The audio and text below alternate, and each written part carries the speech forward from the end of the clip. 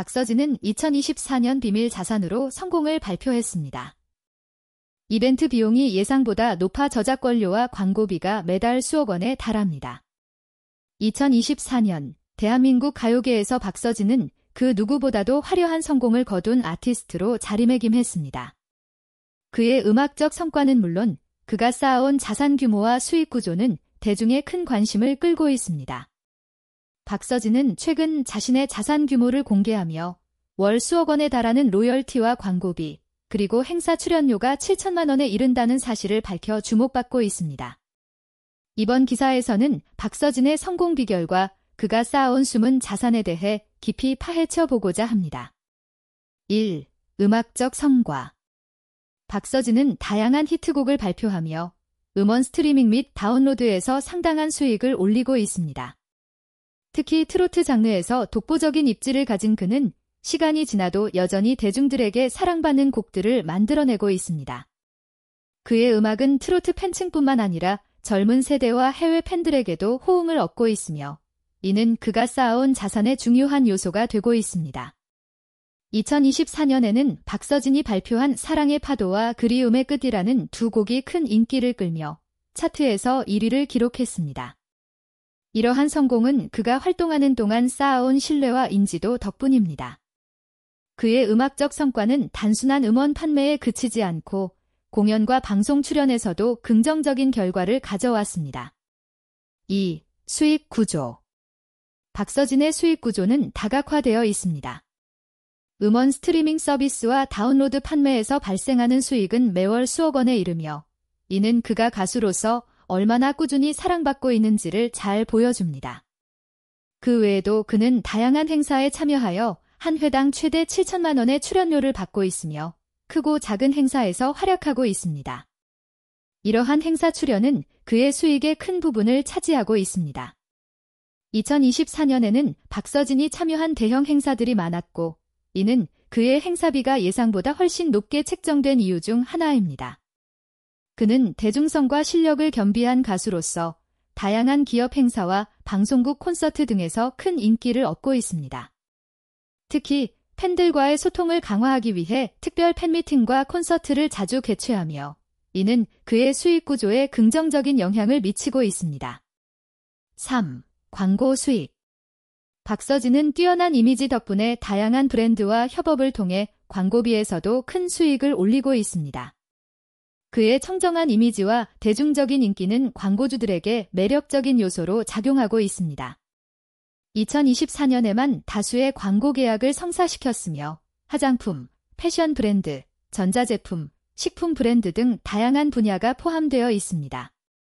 광고 계약마다 받는 출연료는 평균 수천만 원에서 수억 원에 이르며 이는 그의 자산 규모를 더욱 증가시키고 있습니다. 그가 참여한 광고 캠페인은 특히 젊은 층에서 큰 반향을 일으켰고 이는 그가 브랜드 홍보에 있어서도 큰 효과를 보고 있음을 의미합니다. 박서진은 브랜드와의 협업을 통해 자신의 이미지와 맞는 제품을 선별하며 팬들에게도 긍정적인 영향을 미칠 수 있도록 노력하고 있습니다. 4. 자산관리 전략 박서진은 단순히 가수로서의 활동에 그치지 않고 비즈니스적인 감각도 뛰어나다는 평가를 받고 있습니다. 그는 자신의 브랜드 가치를 정확히 파악하고 이를 극대화하기 위해 다양한 사업 기회를 발굴해 왔습니다. 특히 자신을 브랜드화하여 상품을 출시하거나 팬덤과 연계된 굿즈 판매를 통해 추가적인 수익을 창출하고 있습니다. 2024년에는 박서진이 직접 기획한 상품들이 큰 인기를 끌었으며 이는 그의 팬들에게도 특별한 의미를 부여했습니다.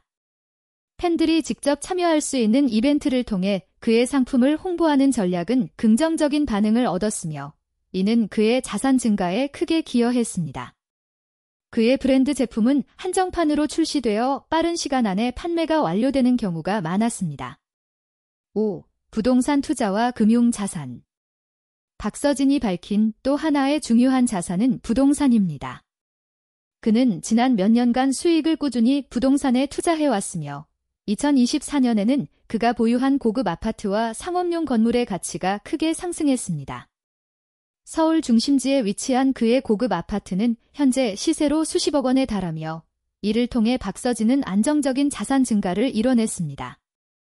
그는 금융자산에도 상당한 관심을 두고 있으며 주식과 채권, 펀드 등을 통해 포트폴리오를 다각화하고 있습니다. 이러한 금융자산 관리 전략은 그가 장기적으로 안정적인 수익을 유지할 수 있도록 돕고 있으며 이는 그의 자산이 지속적으로 증가하는 중요한 요인 중 하나로 작용하고 있습니다.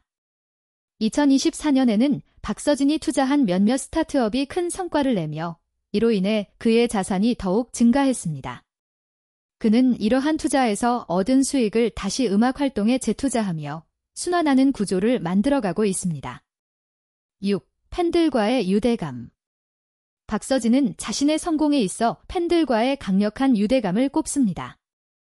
그는 팬들을 단순히 대중으로 보는 것이 아니라 자신의 성공에 중요한 역할을 하는 파트너로 생각하고 항상 그들에게 감사를 전하고 있습니다.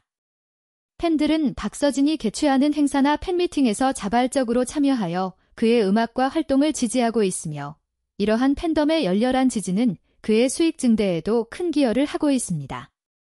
그는 또한 소셜미디어를 통해 팬들과의 소통을 강화하고 있으며 일상적인 모습과 작업 과정을 공유함으로써 팬들과의 친밀감을 높이고 있습니다. 이를 통해 팬들은 박서진의 진솔한 모습에 감동받고 그와의 관계를 더욱 소중히 여기게 됩니다. 7202 4년의 목표와 미래 계획 2024년 박서진의 자산 총합은 여러 분야에서의 성공적인 수익 창출 덕분에 놀라운 속도로 증가했습니다. 그해 월 수익은 수억 원에 이르고 부동산 및 금융 자산까지 합산하면 자산 규모는 수백억 원에 달할 것으로 추정됩니다. 박서진은 앞으로도 지속적인 성장을 이루겠다는 포부를 가지고 있으며 자신의 음악 활동을 더욱 확장하고 글로벌 무대로 발돋움할 계획입니다. 특히 해외 시장을 겨냥한 다양한 프로젝트를 구상하고 있으며 이를 통해 더 많은 팬들과 소통하고 새로운 도전에 나설 것입니다. 그는 또한 새로운 음악적 시도를 통해 자신의 음악 세계를 넓혀나갈 계획입니다. 트로트라는 장르에 머무르지 않고 다양한 음악적 실험을 통해 더 많은 대중에게 다가가고자 합니다.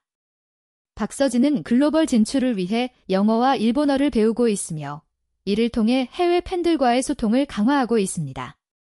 또한 국제 음악 페스티벌 참가를 통해 더 넓은 무대를 경험할 계획을 세우고 있습니다. 결론 박서진의 성공 비결과 2024년 자산의 가치는 단순한 운이 아닌 철저한 계획과 팬들과의 소통, 그리고 꾸준한 노력 덕분에 가능했습니다. 그는 자신의 음악과 활동을 통해 수익을 극대화하면서도 팬들과의 관계를 지속적으로 강화해왔습니다. 박서진의 자산은 그의 성과와 함께 미래를 위한 든든한 기반이 되고 있습니다. 앞으로도 박서진은 음악, 사업, 그리고 팬들과의 관계를 통해 더 많은 성과를 이룰 것으로 기대되며 그의 성공 스토리는 한국 가요계뿐만 아니라 전 세계 음악 팬들에게도 영감을 주는 사례가 될 것입니다.